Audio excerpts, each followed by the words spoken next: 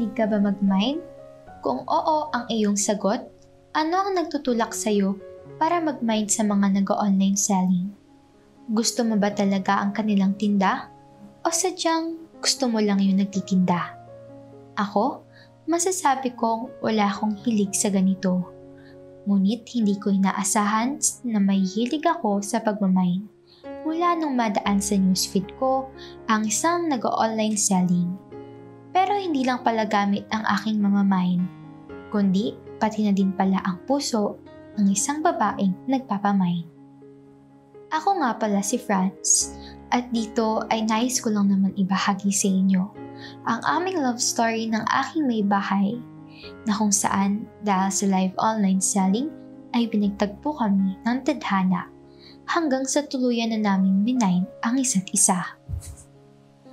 Nagsimula itong love story namin noong nag-lockdown, taong 2020. Labis nga naman talagang naapektuhan ng buong mundo mula nung sumulpot ang isang virus na kanilang tinawag na COVID-19 na siyang nagbabago sa takbo ng mundo at pumatay sa mga negosyo, lalo na sa mga maliliit na negosyo Madami ang mga nagbawas ng trabahador at ang iba ay pansamantala pang nahinto o nasara. Ako, isa ako sa mga taong lubos na naapektuhan ng pandemic na ito. Dahil nga, isa ako sa mga natanggal na teacher sa aming paaralan. Simula nung sila ay nagbawas muna ng guro pansamantala dulot ng pandemic. At ang masakit pa doon ay wala pa ako gano'n naiipon ng panahon na yun. Dahil nga sa halos kakagraduate ko pa lang sa course na education bago magkaroon ng pandemic. Kaya naman, eto ako ngayon nakatenga sa bahay. Naghihintay ng tawag sa mga inaplayan kong trabaho pansamantala. Hanggang sa, Heist! Ang boring naman sa bahay. Reklamo ko sa sarili ko habang pa-scroll-scroll na lang sa aking social media Maglilimang buwan na din kasi ako mula nung natanggal sa trabaho. At hanggang ngayon ay wala pa din ako nahanap na trabaho.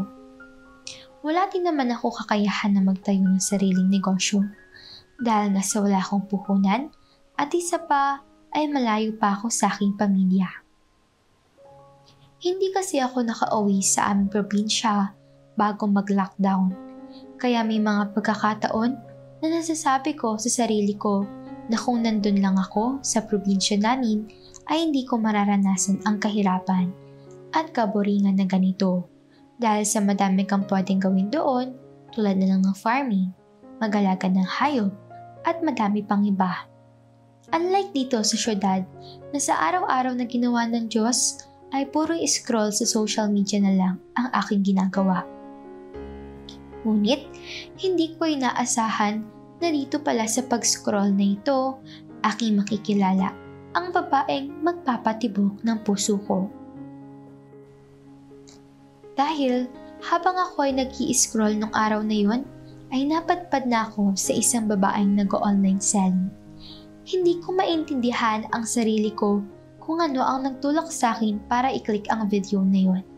Siguro ay dahil na din sa kaboringan at kuryosidad kung paano mag-online selling.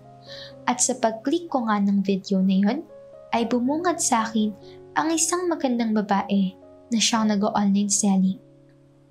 Shoutout po sa 110 viewers eka nito sa kanyang live.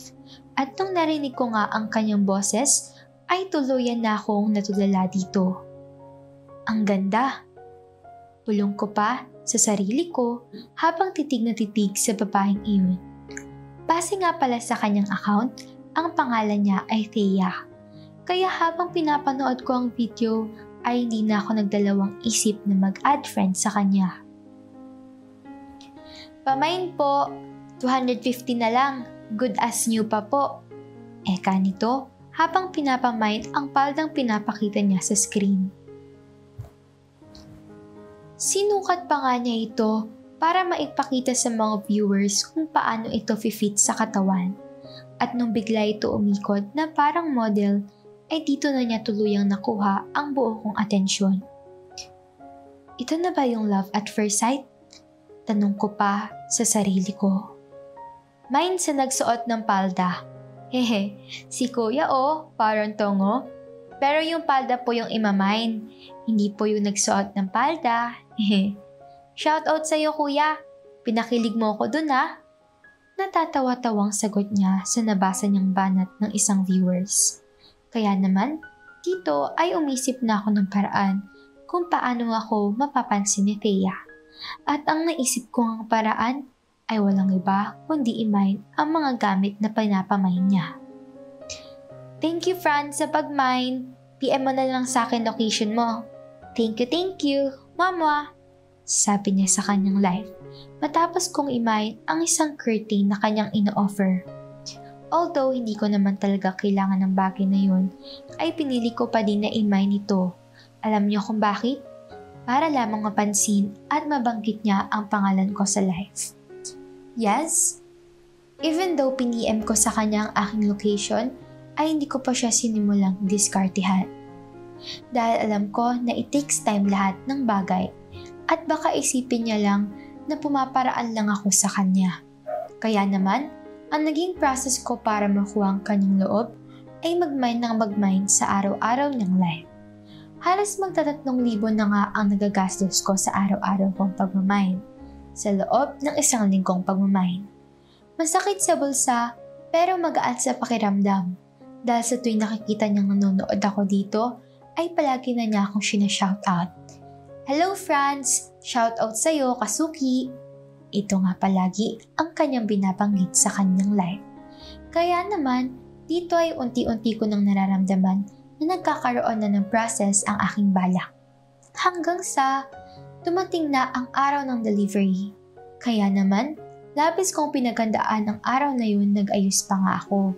Nagpapogi at halos ipaligo na ang buong pabango dahil nga sa ina-expect ko na kasama si Tia sa magde-deliver ng aking mga minay.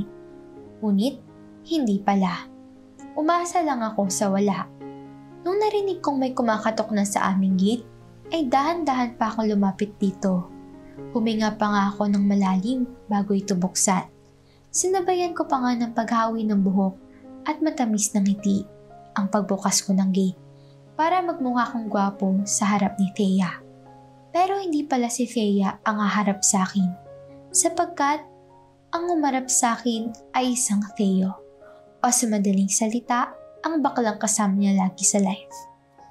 Ay, ang pogi naman ni kuya. Ang bango-bango pa. Hmm? Eka pa nito sa akin. At dito nga ay tuluyang naglaho ang matamis kong ngiti. Balik ko yung pogi. Tricky ang total ng lahat ng in-order mo. Kung business ko lang to, ilibre ko na sana lahat yan sa'yo eh. Kaso hindi eh.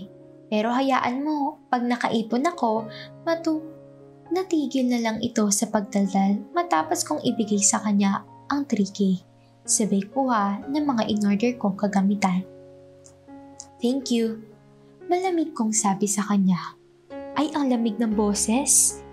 You're welcome, Pogi. Hehe, kung ganito ka, Pogi, lagi makikita ko. Gaganahan ako mag-deliver linggo-linggo o kahit araw-araw pa. Sabi niya pa, may katuloy pa nga yung sinasabi niya pero di ko na ito pinakinggan pa. Matapos kong isara ang gate dahil sa dismayang aking naramdaman. Akala ko pa naman makikita ko na sa personal si Thea. Nag-ayos-ayos pa naman ako. Sayang lang ayos ko. Reklamo ko sa sarili ko habang tinatabi ang aking mga in-order. Paano ba ako magkakaroon ng communication sa babaeng yun? Eh isang linggo na nakalilipas, di pa din niya ako ina-accept. Salita ko pa habang ini-stalk ito tinitingnan ang magagandang larawan na kanyang pinupost sa social media niya. Hanggang sa may ideyang biglang pumasok sa isipan ko. Bigla pa nga ako napangiti matapos kong maalala kung paano ko nakita ang live na ito. Ito kasi ay shinare ng isang kaibigan ko na si Dale. Kaya naman, agad ako nagtungo sa aming convo upang ito ay i-chat. Side. Paunang chat ko sa kanya Uy, Side, ba't napachat? Nagig ba tayo? Mabilis na reply niya sa akin. May banda kasi kami nito. Kaya akala niya ay may gig kami, kaya ako nagchat. Hindi, wala pa. May gusto lang sana ako itanong sa'yo. Sagot ko sa kanya. Ay sige side, ano ba tanong mo? Pagtanong niya sa akin, at dito nga, ay saglit ba akong gumawa ng beat sa lamesa ko? Bago ko i-chat sa kanya ang katagang, Kaibigan mo ba si Thea? Puputulin ko po muna ang aking kwento at tabangan niyo po ang susunod na kabanata ng buhay ko. Nagmamahal, France.